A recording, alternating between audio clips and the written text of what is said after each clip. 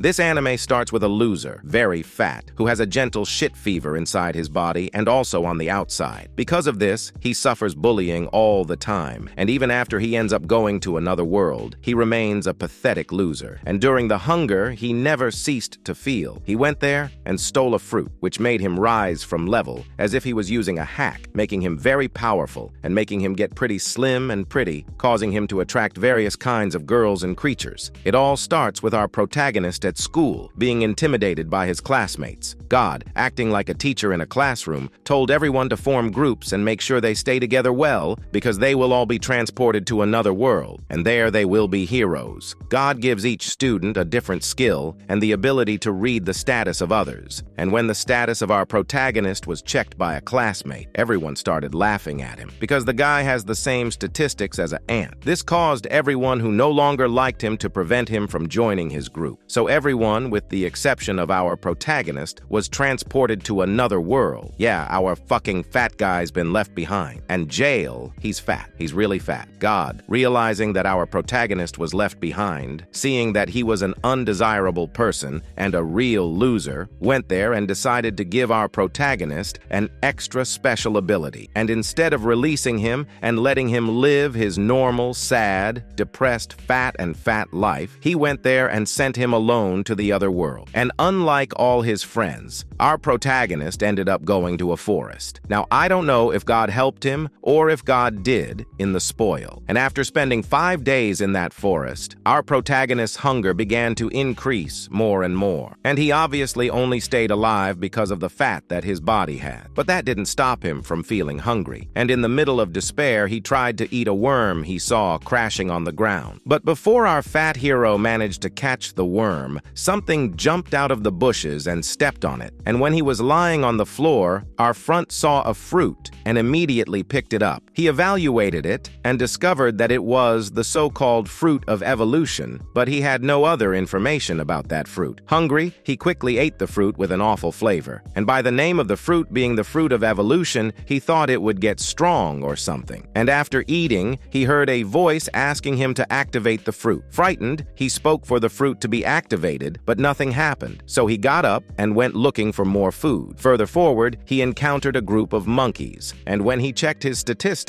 he found that these monkeys were of level 120, having a higher KI than his own. Literally, a monkey with a high KI. Without knowing what to do and hungry, our protagonist wanted to eat a mushroom he had found, but he did not have enough information about what that mushrooms did. However, the idiot still ate it, and immediately he fell to the ground, full of pain, and representing the entire population of the fat when when he was about to die, he decided to die by eating, being the hero of all the fat. So he ate the rest of the fruit of evolution he had and immediately felt better. He also acquired resistance to poison and his classification increased. But before he could celebrate his level rise, he was attacked by an intelligent monkey. He managed to hurt him, and because of that damage, he immediately drank one of the recovery potions he stole. Having done so, Seiichi got up and tried to challenge the monkey, but as the monk was too strong, our protagonist was once again beaten. Fortunately, before the monkey could eat it, he smelled it under our hero's arm and ended up dying. Yes, prison. Our protagonist has a skill there that God did not give, which is his Fedor, capable of killing even an animal. After dying, the monkey turned into items, and our protagonist, by picking up these items, acquired new skills. Among the items, there was a book about intelligent monkeys, and Seiichi was surprised to be able to read the text. It was then that he realized that the special skill God gave him, in reality, was the ability to read things, and from nowhere, a voice informed him that evolution was beginning. Seiichi had no idea what was going on, and he just started to feel a lot of pain. And when the pain diminished, he got up and realized that he wasn't fat anymore, and that his statistics had increased a lot. And soon afterwards, he discovered that his evolution had not yet been completed, and that he would still go through the same pain at least nine times. To make things worse, even having killed a level 120 monkey, he was still at level 1. Five months have passed with our protagonist in the woods, and since then he has managed to use the knowledge he has gained from the intelligent monkey to survive, even to defeat a macro smell of level 311 and acquiring new skills, in addition to a legendary water spirits pond. And apparently, for every monster he defeats, he wins a book with the knowledge of the monster, and so did Crew. By looking at the book of that monster, he discovered a hidden spot on a map, which made him remember that he saw the same thing in the intelligent monkey book. So he then decided to take a hole there to see what it was. At that moment, he immediately went through another evolution, and when it was over, he wondered what would happen when he passed through the final evolution. And as he lay down thinking about the final evolution, he quickly realized that he was surrounded by more intelligent monkeys. Before he could react, a big ugly red gorilla appeared. And look, he has a pink flower on his head. Very cute. And that gorilla wants our protagonist to fight him. And even though he got stronger, our protagonist is still a big, fearful coward. So he asked the gorilla if he could refuse the battle. But the gorilla replied that he could come to fight and that the other intelligent monkeys would not interfere in the fight. Even so, Seiichi was afraid for his life. After all, this gorilla is at level 700. Yeah, jail. It's sad. To make things worse, the gorilla has already come to the punch. Our protagonist even managed to escape, but he was overwhelmed by the strength of that blow. The Seiichi also noticed that the gorilla is casting loving looks at him, and apparently this gorilla likes strong people a lot. And that's when our protagonist realized that, in fact, this gorilla is a female, and realizing that he won the heart of a gorilla made Seiichi feel angry. In response to all this love, he used a sharp attack, from which the gorilla managed to evade easily, and the heavy duel kicked him. Unfortunately, the Seiichi did not deviate from this blow and was thrown flying through the forest. The gorilla was very impressed with the fact that her quick fist didn't kill this human, and so she wanted to go even further, having this human exactly the type she likes. However, Seiichi made it clear that he was not interested in having a romance with the gorilla, but even so, the gorilla presented herself as Saria while trying to act nicely and timidly. Our protagonist asked why a ugly gorilla had the name of a pretty girl, and all the gorilla Saria heard was that she was very pretty. Still angry with everything that was happening, the saint used the inflexible tail skill he had received from Akrolf to attack her, but she used the pulse of the air and fell on him like a bomb. The saint escaped, and he hoped that the gorilla would have killed herself by doing so, but she rose up and expressed her joy that he had managed to escape his attack. The saint then used the water spirit's barrel to enlarge his water magic by raising his hand over his head. He used a skill called Fall Disaster, which would release a lot of water on his opponent. However, as he is more dumb than a monkey, he did not direct his water to Saria and was hit by his own attack. Wet, he tried to cover up his own stupidity by acting calmly and saying that Saria was very good at fighting. However, she immediately told him that she had nothing to do with what had happened. After all, she is a gorilla with 200 Kai, and our protagonist was embarrassed by the fact that a gorilla drew his attention for his folly. To make things worse, the gorilla didn't give him time to recover, and she used her flash fist to give him a kick. The old fat man's life passed before his eyes. As a last resort, he released his skill called Malchir. However, instead of killing her, as had happened to another clever monkey, Saria declared her love for him and asked him to marry him. At Saria's house, Seiichi demanded that she let him go, but Saria told him that he was her husband and that he would have to stay with her. In response, Seiichi said that she is a gorilla and he is a human, so there was no way they could marry, and instead of the gorilla responding, she told him to eat, and when he gave a bite, he was surprised with a delicious food. Besides the food, Saria revealed that she had made new clothes for him, and seeing all this happening in front of his eyes, Seiichi was about to go mad. After all, a gorilla was a great wife. Still covered in doubts, he asked her how she could speak, and she told him that she had found some books in a cave and read them. She showed him the books, and by reading them, he immediately acquired skill. While watching Saria fishing, Seiichi planned his escape, but before he could go far, he faced a giant spider and shouted like a girl in danger. Saria immediately came to her rescue and gave her a blow, making her fly in the sky. She asked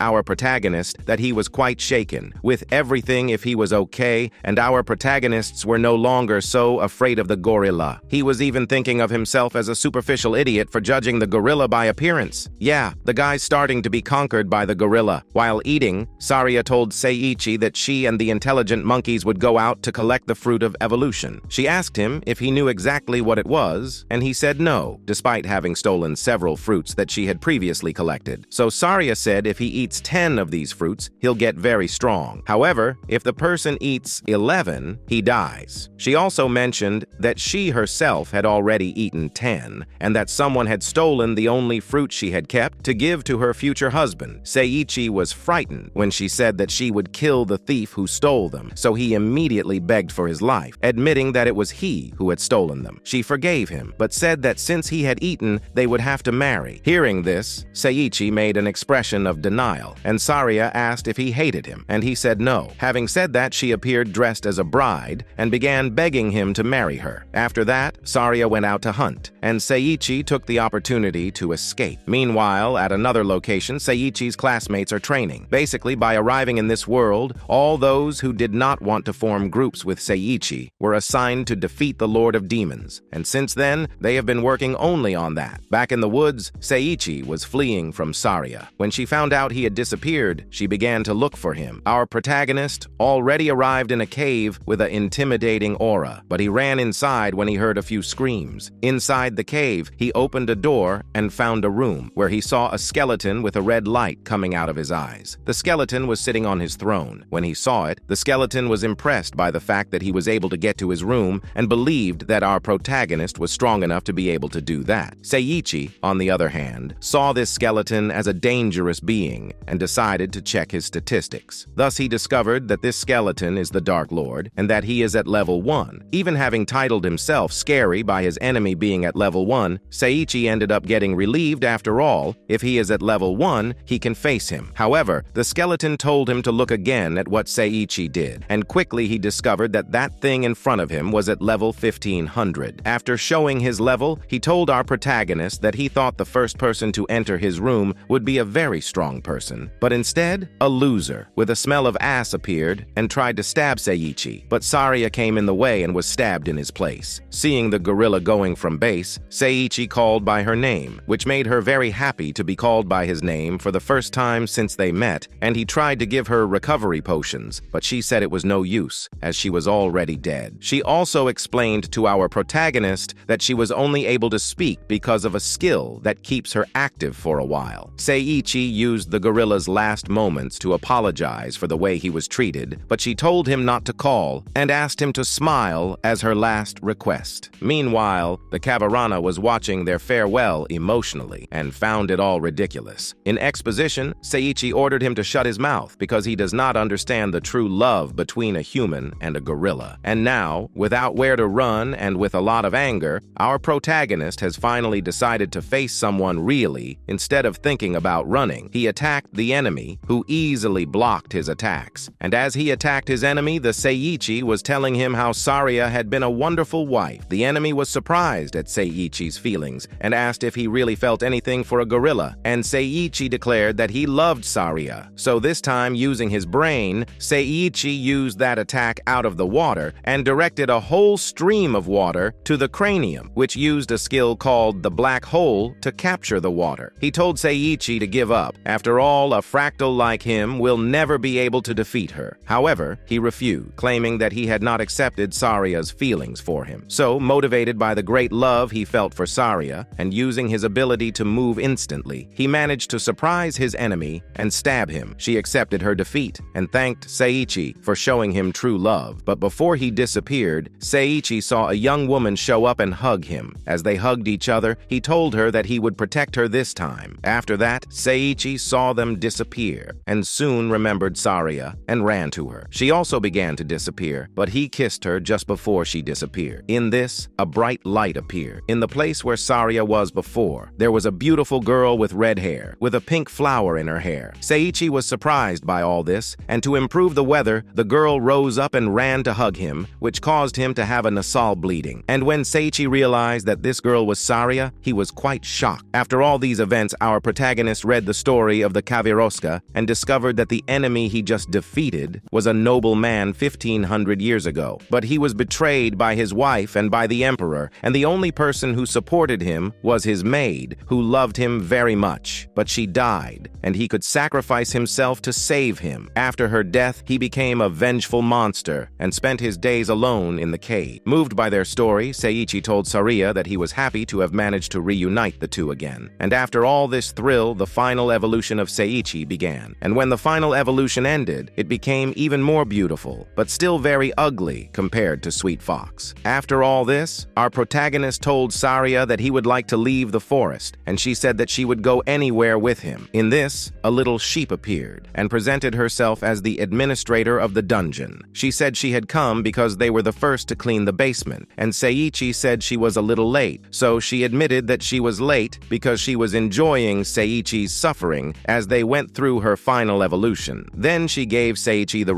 rewards for getting out of the dungeon, which were some evolutionary fruits to cultivate, and a 10-day journey set. She also gave Saria a dress and Seiichi a helmet before transporting them out of the forest. So they had everything they needed to start their journey somewhere, so Seiichi told Saria that they should go to the nearest city. And if you register in the Guild of Adventurers and in the middle of the way they find a slime of level 88, and the site defeated this monster very easily. And that's how he realized that he had become a very strong guy. Among the items that this little monster dropped was a pair of boots and also some skill cards that allowed him to climb level, and this time, his level climb. Seiichi wasn't very happy because he was feeling that he was becoming a monster, and he didn't want to accidentally kill someone with a single blow. At that moment, he took off his helmet, and the item turned into a tunic, and Sari handed him a ticket, explaining why the helmet has changed. Basically, an item that was to hide a face evolved and now became a mantle that will hide its true strength from others. At the entrance of the first city, the site lied, saying that they had lost their identities, so the guard asked them to touch the gem of truth to determine their criminal status, so let them enter the city. As soon as they did, he let them pass and warned them to take care of the guild. He then presented himself as Cloud and asked them to look for him if they needed help. Even after the Cloud user ID warning started targeting to a guild, thinking that probably the guy was exaggerating with his warning, but as soon as he opened the door, he saw a blonde woman recording an American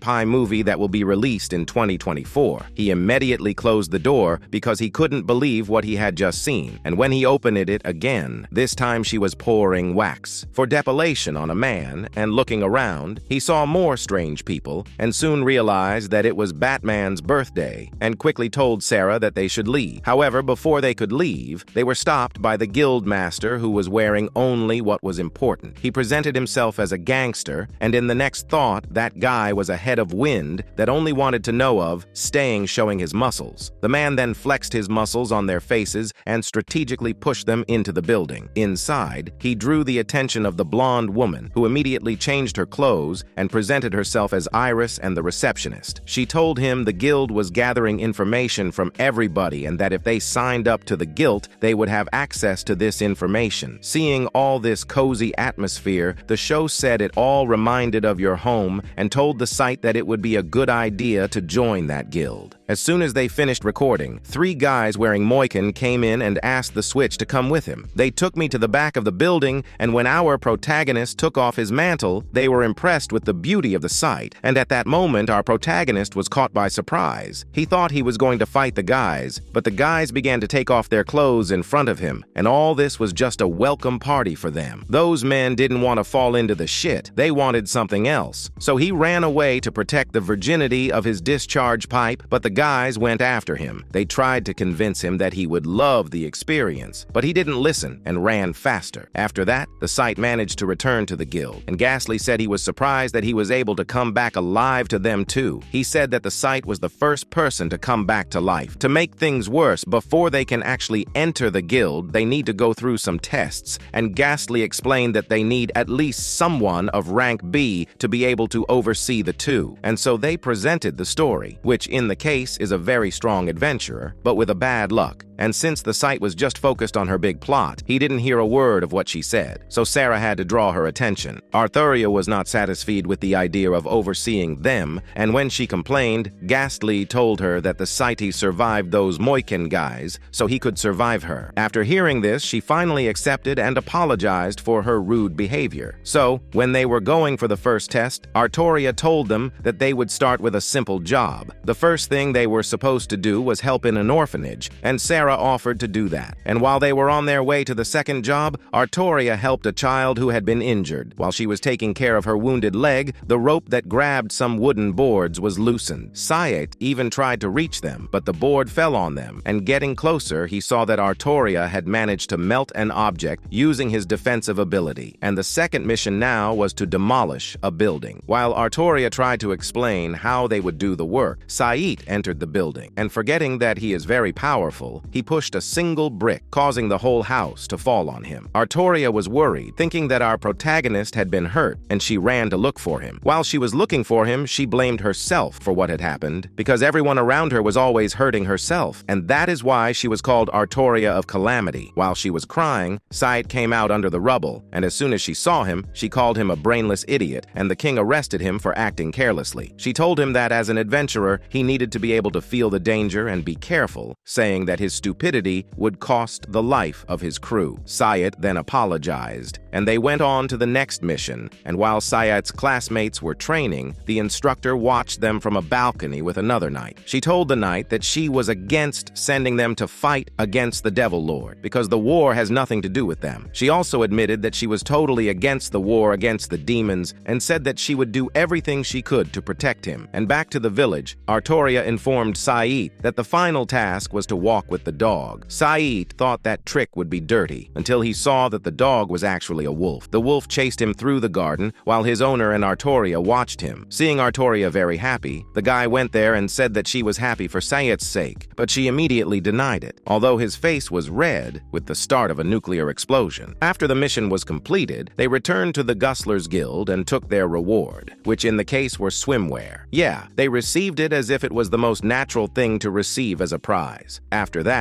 Ares asked if they had a place to stay, but they said no, so Artoria said they could stay in the hostel where she is staying. Seeing this, Ares and Gustler were surprised. After all, it wasn't her habit to do something like that. Shamed, she even thought of withdrawing that offer. However, Seiichi and Sarah had already agreed, and after all this, Seiichi, Sarah, and Artoria went to a field to do another test. There, Artoria explained that all they needed to do was collect 10 medicinal herbs. However, our protagonist immediately stood, not hearing everything she had to say, and Artoria only smiled when she saw Sarah following him. A while later, Sarah handed over the herbs she had gathered, but when it was Seiichi's turn, he delivered several special mushrooms. Artoria asked him where the herbs she asked were, and he said he hadn't seen any, which made Artoria call him a donkey and say that he had never seen anyone so dumb as him. After all, the medicinal herbs they're collecting are quite easy to find, and it even has a good side on his foot. He took them and gave them to her, but she said that's not enough, and once again he ran into the woods to get something that was right in front of him, but the dirty one couldn't find, and while wondering why he could only find rare herbs, he heard some people talking, but as he doesn't even know how to take care of his own life, he decided to get into the lives of others and went to see who those people were. From afar, he could not hear what they were talking about, so he decided to ask them if they knew if he could find the herbs he was looking for. In doing so, he discovered that the two were demons, under the command of the captain of the 3rd Division of the Army of the Lord of Demons. In discovering all this, Seiichi only considered a bunch of strangers and tried to step in, but they prevented him because they did not want Seiichi to spoil their plan since he saw them, and probably he must have heard their plan. And the action started with a ugly troll using his giant clove to hit Seiichi, but he stopped the guy's clove, using its ability to absorb and transfer the force of his opponents to him. Frightened, the cowardly demons fled, so Seiichi had no choice but to return to Artoria with the rare herbs he found. In the end, Artoria ended up dealing with the rare herbs she had, as he was looking very sad. And back in the Kingdom of Demons, the demons were being questioned why they fled a human, so they admitted that they had gone to the human kingdom to mount teleporting traps to thus reduce the human army before the fight actually began. Their leader asked where the traps would send the humans, and they said that the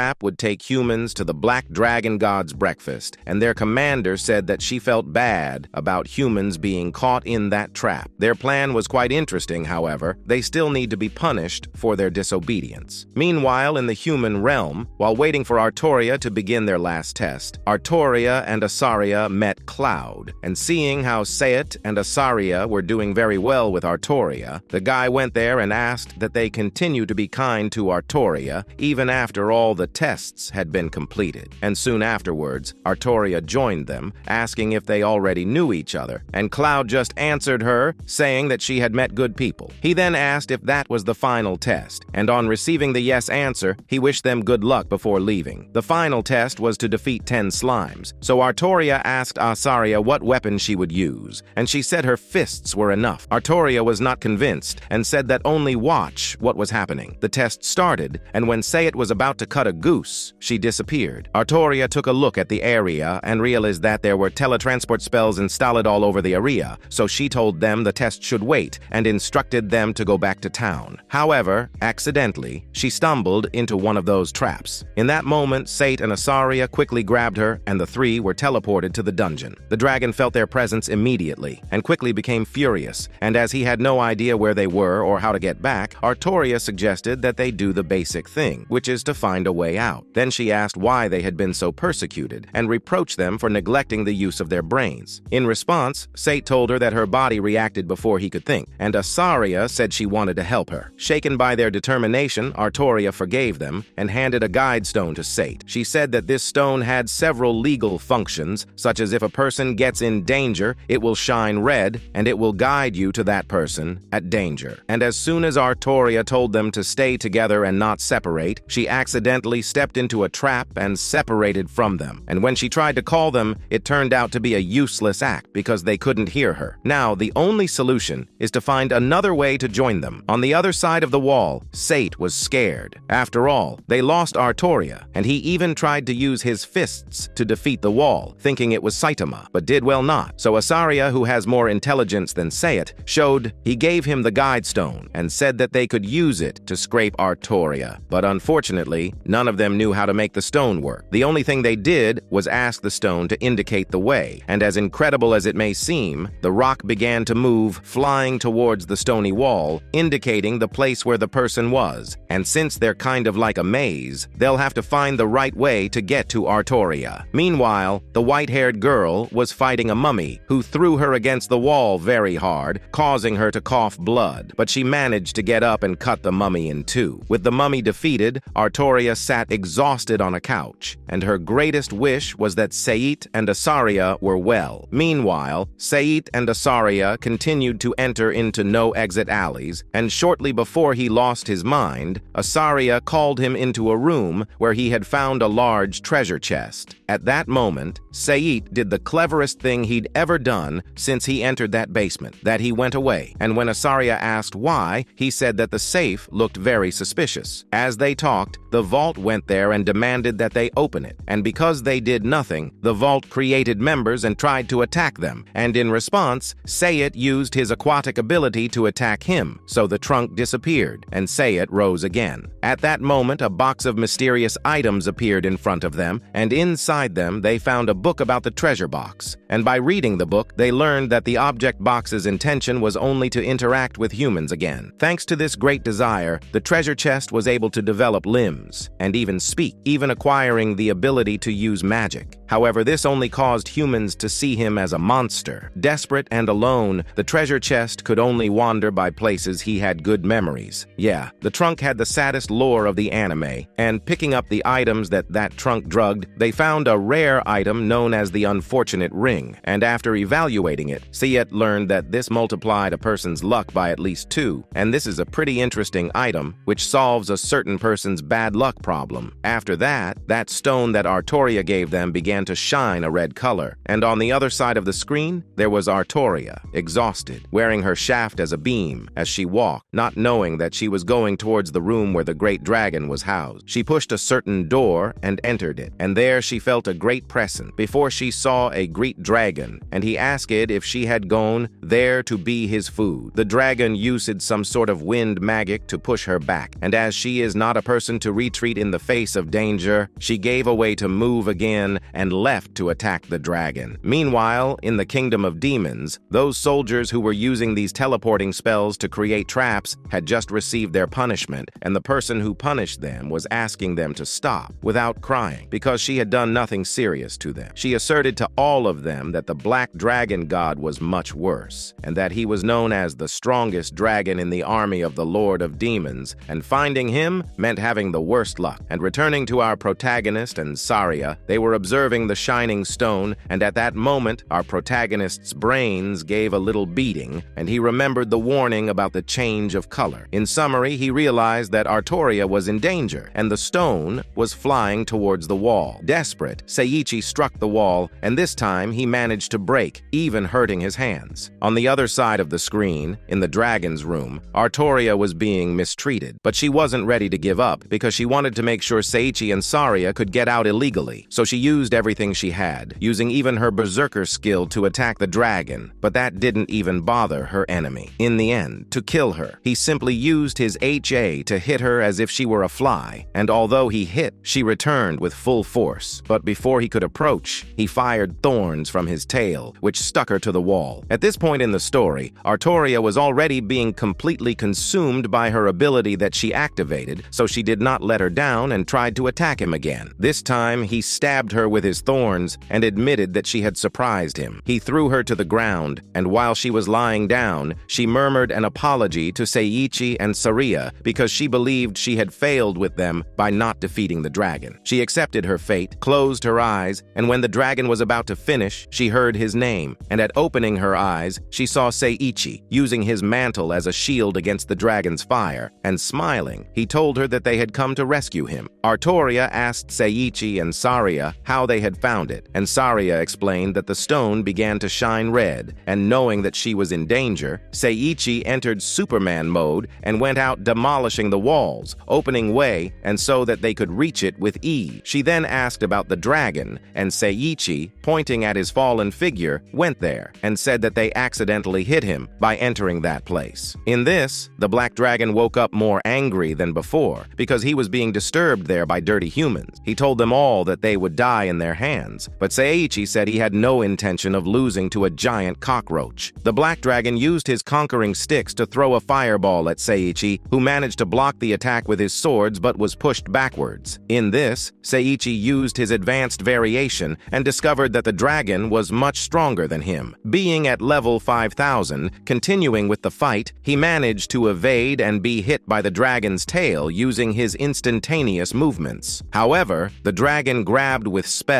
and used his tail to throw Seiichi to a wall, and while suffering in battle, Seiichi wondered why his power absorption skills weren't working. To make things worse, the dragon went there and released his supreme ability, called Infernal Hell. Now Seiichi was sure that this time he and Asaria would be burned to death. So Asaria went there and drew his attention, telling him to use the skill he used when he fought against her. So he used his water spirit's talk to dive a water disaster, completely draining everybody with water. At this point in the battle, the dragon was completely angry and said that he would not lose to another useless human. Then he threw a fireball at Seiichi, which escaped again. But again he was caught on the spot because of the spell. Then the dragon prepared to strike his final blow, but Seiichi managed to move his body and also acquired a skill called Resistance to Intimidation. And then he attacked the dragon, who was very surprised that this human had been able to free himself. But before he could react to it, Seiichi cut him perfectly. The dragon couldn't believe he had lost to another human and lamented his failure before disappearing, leaving behind a box of items. While Seiichi wondered why the black dragon hated humans so much, he rose from level,